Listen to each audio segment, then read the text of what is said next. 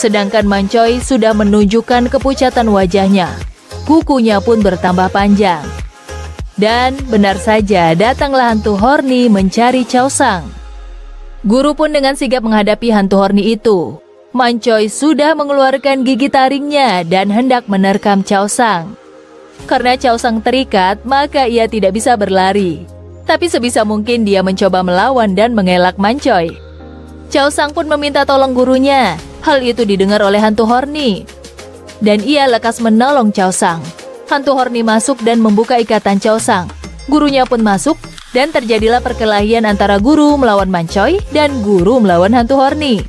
Hantu Horny pun mengajak Chow Sang melarikan diri. Kemudian, guru melemparkan jubahnya dan dilemparkan ke hantu Horny. Hal itu bisa mengakibatkan hantu Horny mati. Maka dari itu, Chow Sang meminta gurunya untuk membiarkan dia pergi. Hantu Horny